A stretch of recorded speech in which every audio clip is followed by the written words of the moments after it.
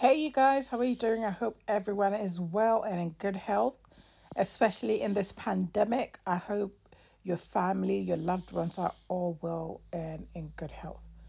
Right, let's get into the video. So, I'm just showing you my aloe vera here. This video really is about um, how to buy the freshest aloe vera leaf and how to store it. So, first of all, you want to make sure that your aloe vera is smooth. Okay, the skin of the aloe vera is smooth. So I'm showing you two aloe veras here. The first one, if you can see, is a more darker green color and the other one is a more lighter green color. I would recommend for you guys to always look for the darker green color. Okay, it is really the freshest. If you're harvesting aloe vera at home and um, you're you're using it um, for your smoothies and your and your and your juices, make sure that the aloe vera is mature, about sixty centimeters. Okay, and um, yeah, um, if you're ingesting it, also make sure that um, all that yellow sap, that aloin, is out of it before you you do use it for whatever you do you use it for. Okay, um, how I store my aloe vera is in the freezer. I cut it up um, and I um, obviously take the gel out and I freeze the gel, okay?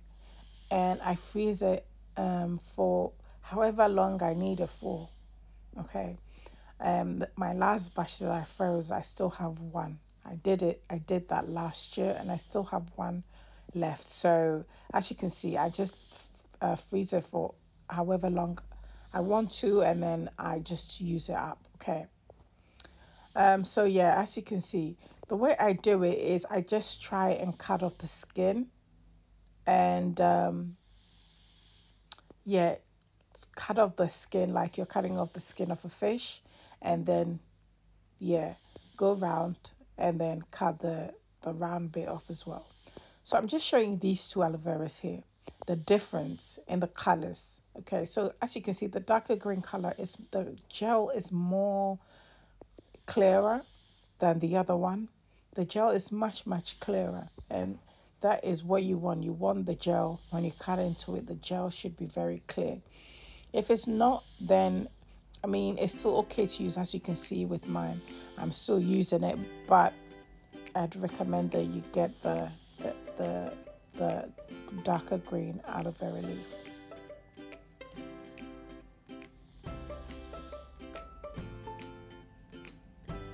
So I'm cutting it all up. I'm cutting the side, the prickly side off first.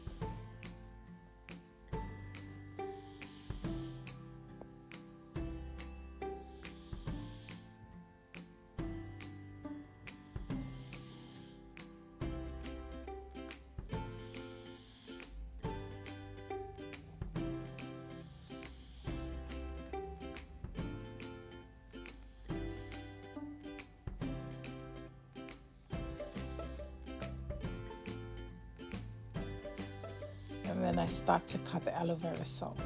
Now, every single time you see me whip the aloe vera out or go get it, you know that I'm on some sort of a mission, okay? And it's the same this time, okay? So, I always whip out the aloe vera when I am growing my hair or when I want more growth with my hair. So, I cut my hair um, last year, guys. I cut it to a tapered um, shape last year. And I was in love with my tapered cut. Okay, I love it. And I was like, listen, I'm going to keep this tapered cut for a very long time. Okay, I'm going to keep my hair short for a very long time. Then I see you all guys in the in the in the on the YouTube, and you guys are rocking your beautiful hair. And it, it, I just missed my hair a little bit. I'm not gonna lie. Okay, so I cut it about a year now and I keep cutting the sides and the back. But you guys are making me not want to cut it anymore with your beautiful hair and everything. So yeah, I'm on a mission to grow it back, okay? So I can't wait. Um, that's the thing with hair, you know, it's so funny. It's just one minute, you know, you want it short, the other minute you want it long, you know. but it's a good thing definitely because um you girls out there you're doing it your your, your hair is so beautiful. When i see youtube um um people who make youtube videos and their long hair it's just i miss my hair you know? I do. And so this is what i'm doing. I'm i'm trying to grow it back and i use aloe vera. I use what i'm trying to do these days is just try and make my own products okay? Um try and make my own products because I feel like these days a lot of first of all the all natural ingredients um, in a in a product are so super expensive, and the ones that aren't are full of crap.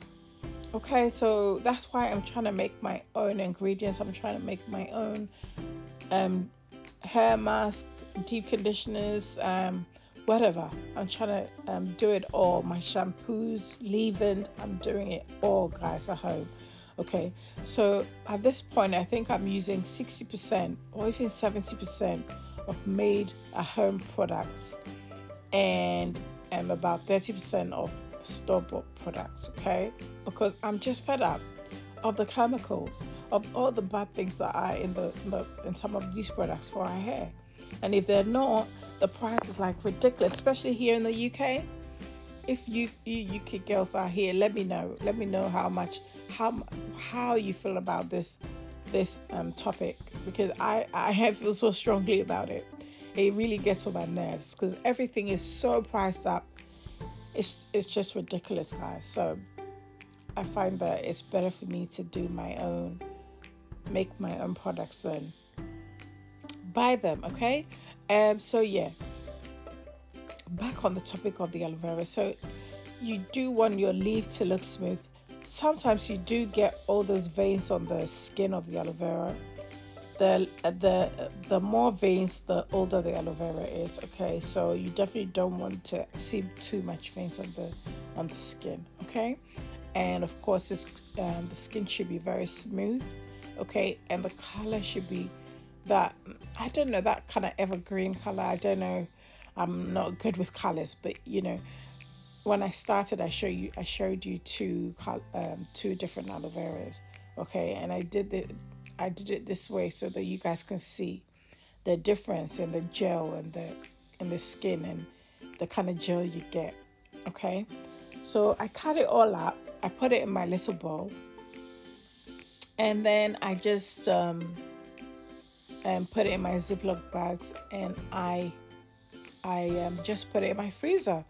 And what I, I, I, do is I defrost it when I need it. So if I know I'm going to do like a, a hair mask or deep conditioner in the morning, I just take it out the night before and it's ready. One thing I'd advise though is that don't um, blend it straight off or use it straight off after you take it out of the freezer, you want to make sure that it's defrosted depending on what you're doing with it. I have realized that when you blend it well, it's in the frozen state. Um, but that slime that you want from the aloe vera, especially if you're making your leave-in, it's not there as much. Okay, so let it completely defrost, and then use it for whatever you want it for. And when you take it out of the freezer and you defrost it, it still looks great. It smells great. It's just so nice and fresh, okay? So yeah, um, I have one in the freezer which I will show you later in this video. Um, that I cut up and stored in there last year, and it's still in there and it's still fresh. And when I defrost it, it still looks good. Okay, so this is what I do with my aloe vera. I always also buy organic aloe vera. Okay, I always buy organic. Um, I I have a, a thing that whatever is going into your body and outside of your skin or hair should be organic. Okay, so wherever I can, I try to to get organic.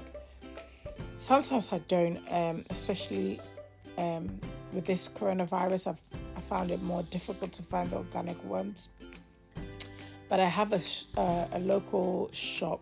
It's not local to me. It's in a different area where I go, and it's slightly a little bit of a longer journey, but I just make it from my aloe vera, okay? But if you want just any old aloe vera, there's tons around this area where I live.